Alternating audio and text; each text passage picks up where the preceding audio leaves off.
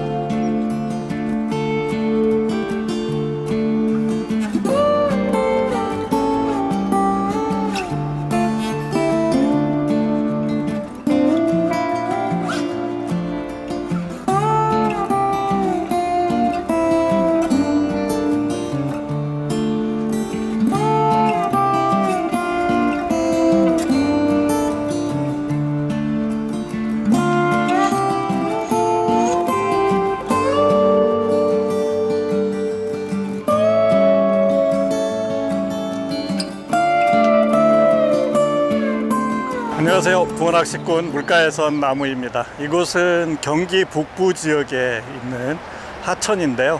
이곳이 저희 집에서 비교적 가까운 곳입니다.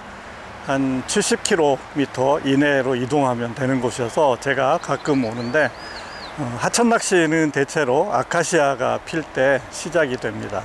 지금 제 자리 뒤쪽에 아카시아가 피어 있습니다. 그래서 아카시아 향기도 나고 굉장히 분위기가 좋습니다. 그 도로가 있어서 도로 소음이 좀 나는 게 단점입니다. 건너편으로 보이는 풍경도 굉장히 멋집니다. 그래서 이곳이 쾌적한 그런 느낌이 있어서 제가 굉장히 좋아하는 곳입니다. 아주 큰 씨알 붕어가 나오지는 않지만 간간히 입질을 좀 자주 해주는데 사실 오늘은 느낌이 썩 좋지는 않습니다. 제가 사용하는 릴대는 용성 알파 9호입니다. 2m 70이고요. 닐뭉치는 시마노에서 나오는 아오리 스타라는 닐뭉치. 나이는 잘 보이라고 흰색을 쓰고 있습니다. 근데 뭐 형광이나 이런 거 2.5호 내지 3호 쓰시면 됩니다. 지금 8시 30분이 지났는데 어 제가 한 뭐 8시 정도 도착해서 지금 대표고 준비는 다 해놨습니다. 물이 왼쪽에서 오른쪽으로 흐르고 있어서 가급적이면 대를 오른쪽 편으로 조금 돌려서 넣습니다. 라인들이 지금 대체로 오른쪽으로 약간 휘어 있는 그런 상태입니다. 물이 흘러서 자기 채비가 어디 들어가 있는지가 가끔 헷갈릴 때가 있습니다. 그때는 미리 던지실 때 음, 정면에 지형 지물들을 봐두시면 됩니다. 그래서 그 저는 왼쪽에 큰 나무, 그 다음 두 번째, 세 번째 고사목 뭐 이런 식으로 지금 던져 넣어 놨습니다. 끝보기 받침틀이 한동안 품절이었습니다. 그러다가 이제 다시 생산이 돼서 판매가 되고 있는데 조금의 변화가 생겼습니다. 보시면 이 부분이 우리가 옛날에는 나이키라고 그래서 이렇게 경사가 져서 이렇게 만들어져 있었죠. 그것을 그냥 U자형으로 만들어졌습니다. 그리고 어, 라인 홈은 그 아래쪽에 있어서 그냥 올려만 놓으시면 되고 이 나이키 모양으로 만들어 놓은 것이 이쪽 턱으로 걸리고 챔질할 때는 이쪽으로 미끄러져 나오게 한다라는 취지로 그렇게 만들어져 있는데 실제로 사용을 해보면 별 의미가 없습니다. 또 그리고 줄거리가 여기 이렇게 있다 보니까 줄거리 부분에서 자꾸 턱이 떨어져 나간다거나 하는 단점이 있어서 어, 조금 음, 저도 같이 한번 상의를 해서 개선을 했습니다. 그리고 또 하나 바뀐 게 밑에 자립다리 요 두께인데요. 원래는 요 두께가 10mm 두께였습니다. 근데 요걸 20mm로 올려서 이 자립다리의 안정감이 훨씬 더 강화가 됐습니다. 그 대신 무게가 조금 무거워지는 단점은 있습니다. 그래도 자체적으로 좀 안정감이 있어야 여기에다 뭐 다른 악세사리를 좀 붙인다거나 하는 발전성도 있고 그리고 바위 위에서나 이런 데 사용하실 때 이제는 굉장히 든든하게 지지가 잘 됩니다.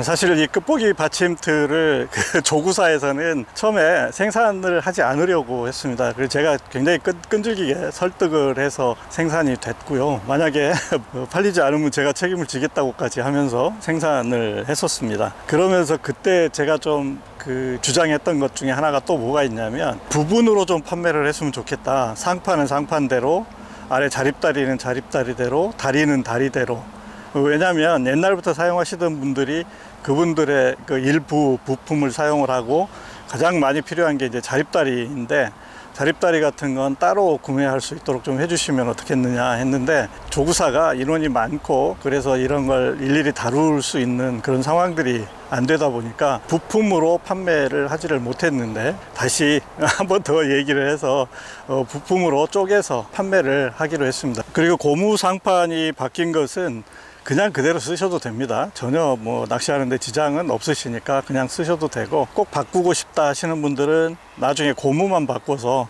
지금 본드칠이 조금씩 돼 있는데 걔만 떼내고 다시 끼워 넣으면 됩니다. 고무 같은 경우는 사실 소모품이기 때문에 뭐 바꿔 끼고 할 수 있는 그런 구조로 돼 있으니까 어렵지 않게 하실 수 있을 거고요. 금방 말씀드렸다시피 굳이 바꾸지 않으셔도 크게 문제는 없습니다 지금 부유물 하나 떠내려가는 거 보시면 물 흐름이 어느 정도인지 짐작하실 수 있을 겁니다. 저는 사실 전부터 물 흐르는 곳에 오히려 붕어는 많다고 생각을 하고 있습니다. 단지 낚시가 조금 어려울 뿐이지 물 흐르는 곳에서 붕어들이 거슬러 올라오면서 바닥에서 먹이 활동을 하는 그런 경향이 있습니다. 그래서 물 흐르는 곳에서 대급 보기를 해도 조과가 잘 나오는 경우가 제법 있거든요. 원래 끝보기 낚시는 쉬엄쉬엄 하는 게 미덕입니다. 언덕 위에 세워놓은 차에서 대 끝을 볼 수 있을 것 같습니다. 가서 누룽지 끓여서 아침 식사를 좀 해야 되겠습니다. 자동차 있는 곳에서 한 30m 정도 떨어져 있는데요. 만약에 대가 한 대가 입질을 하면 받침틀이 전체가 조금 흔들립니다. 그래서 조금 멀더라도 금방 감을 잡을 수가 있습니다. 지켜보면서 아침 식사 준비해서 먹도록 하겠습니다 자동차 소음만 없으면 굉장히 멋진 곳이죠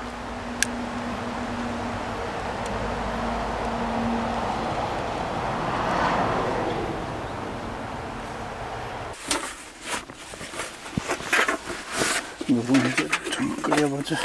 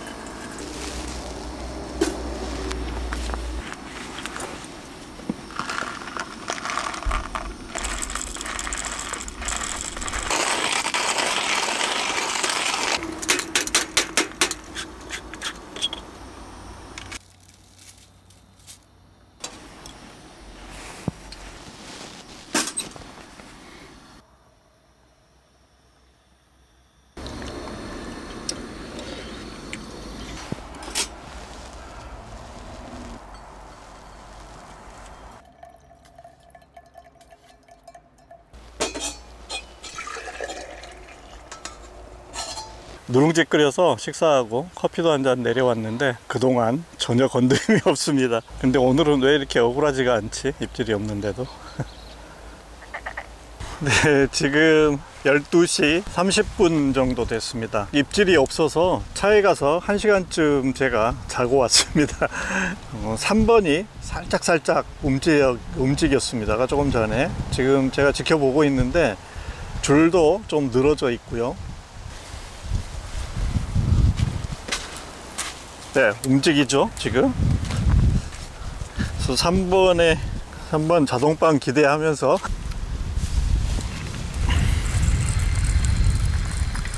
오, 있는데 이거 붕어야 뭐야? 왜 옆으로 누웠지? 아, 야 그래도 꽝은 안 치고 가겠구나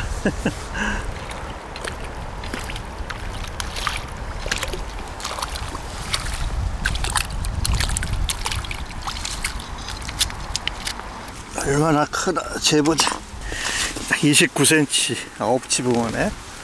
29cm 아홉치 붕어입니다. 다행히 이 녀석이 나와주네요. 아무튼 조금 더 제가 오늘 좀 늦게까지 해보겠습니다 낚시를. 제가 살림망을 가져왔는데 지금 상황으로 봐서 그렇게 많이 나올 것 같지도 않은데 그냥 돌려보내겠습니다. 급 의욕이 더 불타오릅니다 금방 이제 붕어 한 수 났고 다 전체 지렁이 갈아줬습니다. 1번 4번만 지렁이가 없었고요.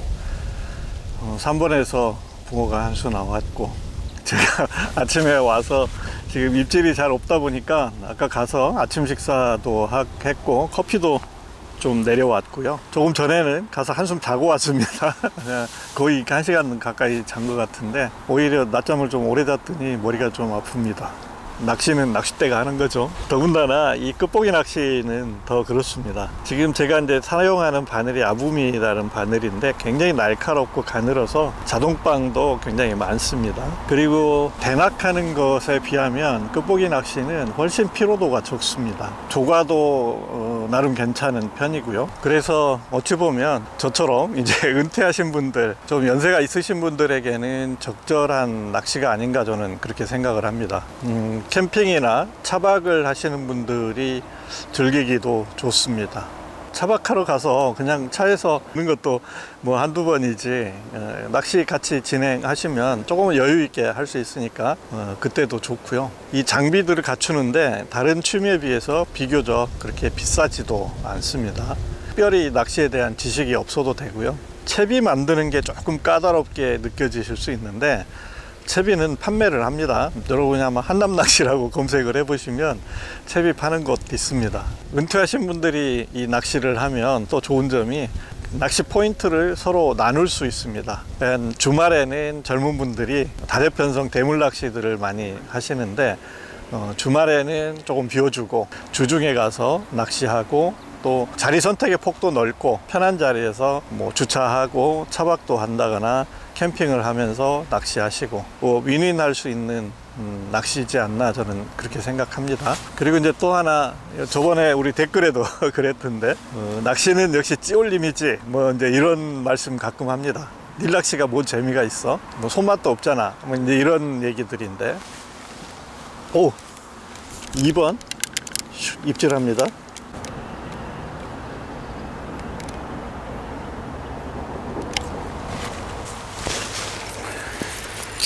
금방 이 그 입질하는 거 보셨을 텐데 그 이렇게 끝이 시원하게 돌아가는 모습이 찌 올라오는 것만큼 설레고 기대감도 줍니다.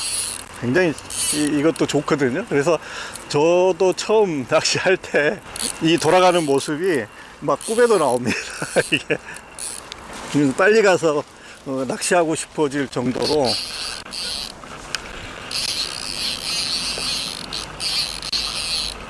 아 메기구나. 역시 입질은 메기가 끝내줍니다.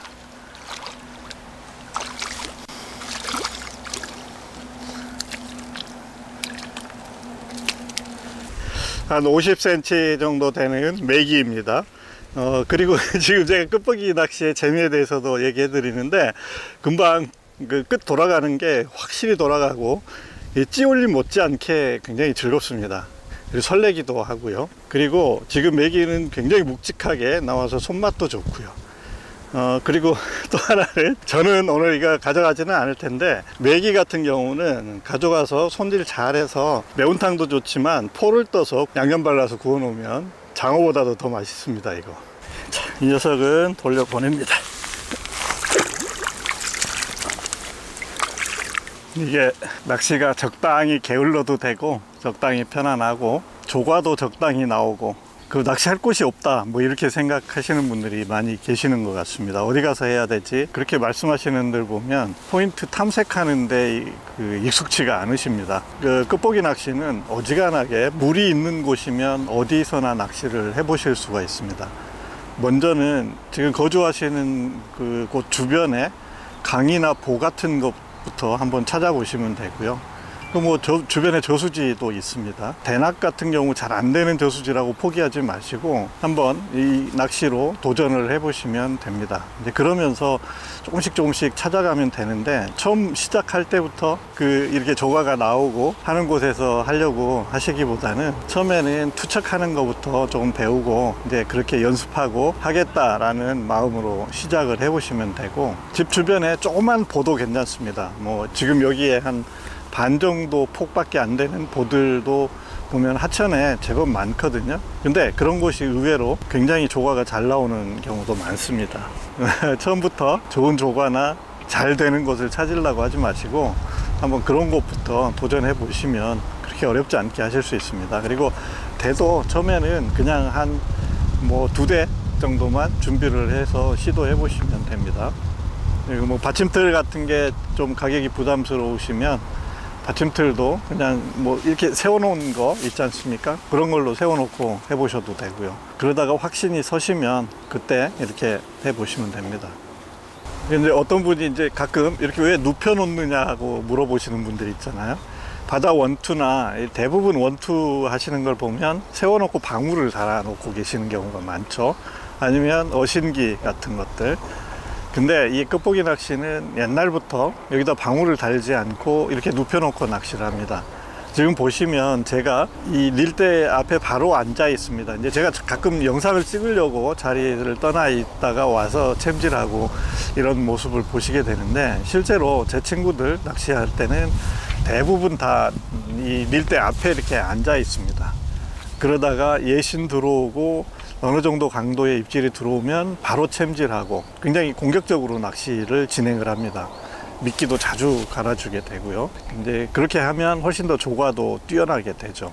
그래서 낚시할 때는 그렇게 집중해서 하시고 또 놔두고 쉴 때는 그냥 놔두고 쉬시면 됩니다. 쉴 때는 그래도 자동방도 많거든요. 이게 어, 집중해서 할 때는 집중해서 하고 좀 또 쉴 때는 쉬고 네, 그렇게 하기 위해서 어, 끝을 잘 보려면 세워놓으면 여기서 세워놓으면 고개를 이렇게 들고 계속 보고 있을 수가 없죠.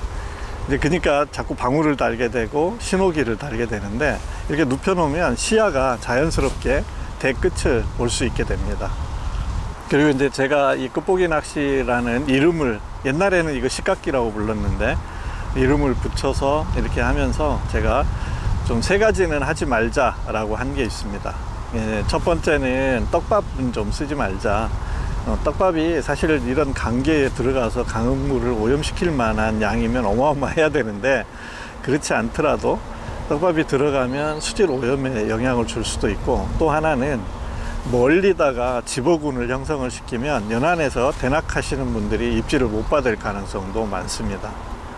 또 그리고 떡밥이 떨어질 때 풍덩하고 떨어지면 주변에 낚시하시는 분들이 신경이 좀 쓰이기도 하죠. 그래서 가급적이면 주먹떡밥, 크게 뭉쳐서 쓰는 주먹떡밥은 쓰지 말자라는 원칙을 좀 세웠고요. 다음 두 번째는 예, 방울 달지 말자는 원칙이 또 하나가 있습니다. 이건 왜 그러냐면 이렇게 조용한 자연 속에서 방울 소리가 하나가 딱 울리면 모든 사람의 시선이 글로 집중이 됩니다. 옆에서 예를 들어 뭐 대낙을 하는데 집중해서 찌를 보고 있는데 방울 소리가 나면 예, 주의를 분산시키게 돼서 방해를 할 수가 있습니다. 본인 혼자서 어디 동떨어져서 낚시할 때는 뭐 방울을 쓰셔도 되겠지만 주변에 다른 분들이 있을 때는 방울은 좀 쓰지 않았으면 좋겠다. 그런 원칙을 하나를 했었고요. 음, 또 하나 원칙은 자연의 해를 입히는 그런 거는 하지 말자 라는 원칙을 세웠습니다. 음, 사실 끝보기 낚시는 아, 이 멀리 던지는 낚시다 보니까 굳이 가서 포인트를 만들기 위해서 뭐 풀 정도는 이렇게 베어낼 수가 있지만 뭐 논둑을 판다거나 이런 일들은 하지 않아도 됩니다. 어, 할 수 있는 곳에서 옮겨가서 어, 원하는 포인트로 던져 넣으면 되거든요. 자연에 해가 되는 행위는 하지 말자. 그리고 쓰레기도 좀 버리지 말고 가급적이면 일회용품이나 이런 것들은 사용하지 않도록 그렇게 하자. 그래서 해를 주지 말자. 무해한 낚시를 하자라는 원칙이 있어서 무탄 그러니까 주먹떡밥 쓰지 말자. 무음 소리를 내는 방울을 쓰지 말자. 무해 해를 끼치는 그런 낚시를 하지 말자 해서 우리가 끝보기 삼무라는 원칙을 세워서 끝보기 클럽이라는 네이버에 카페가 있는데 거기서는 요 삼무를 원칙으로 낚시를 합니다. 금방 이번 대 끝 돌아가는 거 보셨을 텐데 이게 메기가 굉장히 끝은 굉- 입질은 아마 어종 중에서 메기가 가장 화끈할 겁니다.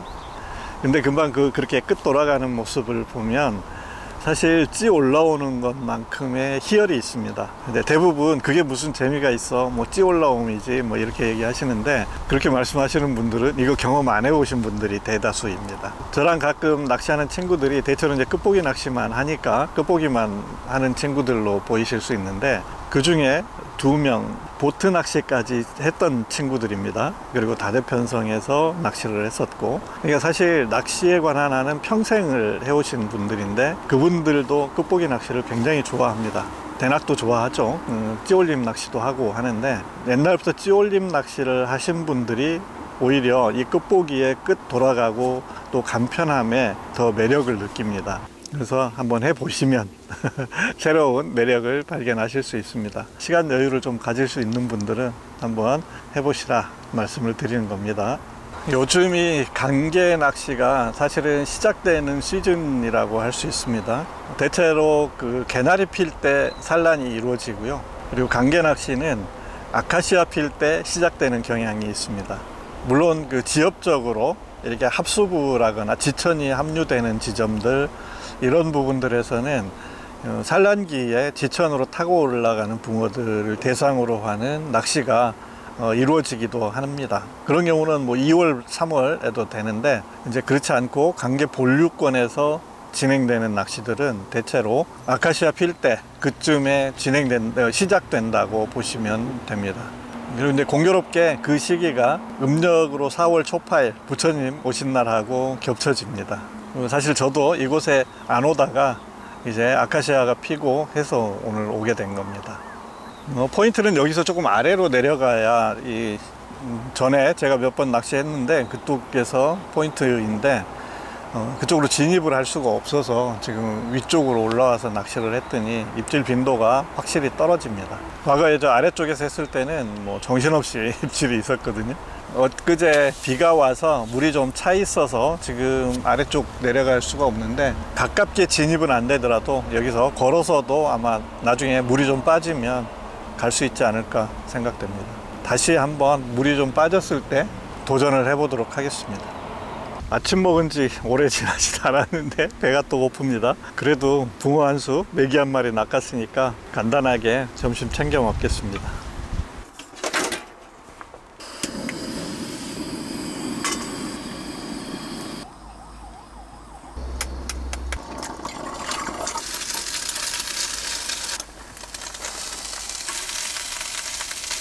메기 지느러미에 아까 찔렸는데 이게 좀 따갑네.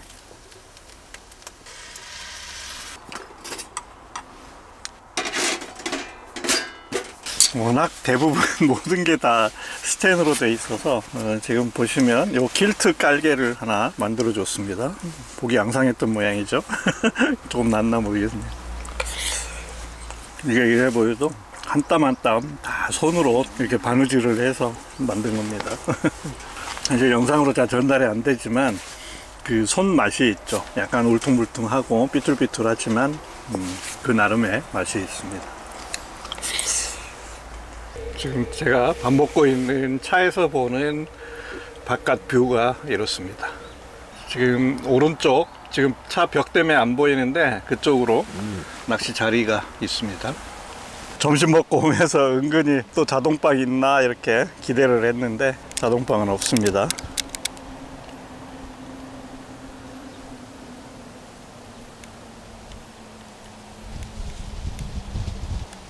그대로 있습니다.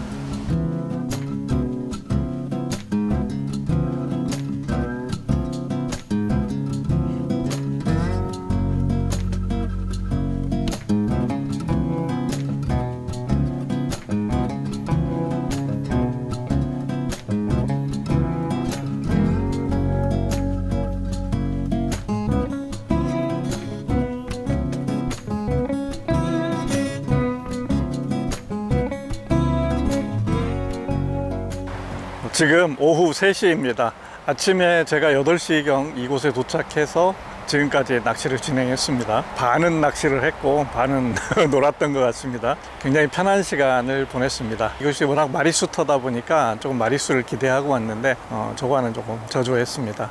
그래도 굉장히 오늘 쾌청한 날에 즐거운 시간 보내고 철수합니다. 지금까지 시청해 주셔서 고맙습니다. 붕어낚시꾼 물가에선 나무였습니다.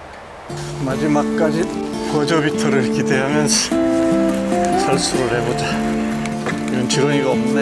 이런 빈말을 누르고 있었네.